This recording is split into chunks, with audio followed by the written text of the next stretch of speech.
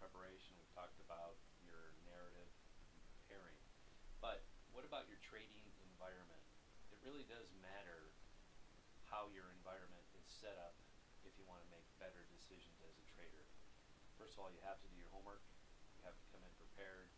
You have to be there probably a little bit before the markets you want to trade open. And you have to be ready to go. So, some things that uh, I have noticed over that this less is more philosophy applies to your environment also. My office here is very uh, contained. I turn off my phone for the opening couple hours in the market. I turn it off the closing hours.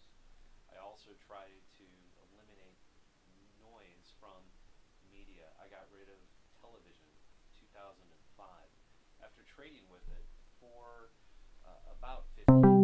So uh, the last decade we have been uh, eliminating uh, some of the noise by getting rid of news media. CNBC is not going to tell you, me, the analyst that is talking to you anything that you don't know already. If you're trading with charts, especially, this is true. Just turn it off.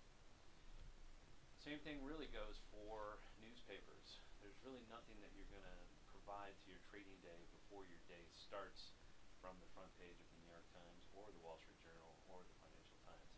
So stick to your charts, keep it simple, be prepared, and trade the time frames that uh, you can focus on most intently uh, each day and every day. You don't need to focus on a ton of markets.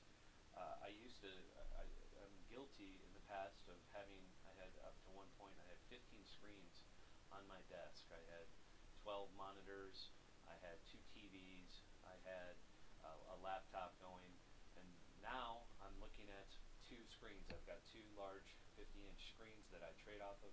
I need less when it comes to technology. I can look at the S&P, gold, uh, the dollar, bonds, and beans, let's say four or five charts all at once. And in essence, that is the most that any one person can handle. So don't focus on more than three to five markets at any one time. And I would say that if you're new to the game, focus on one, learn one way to trade. Your environment matters.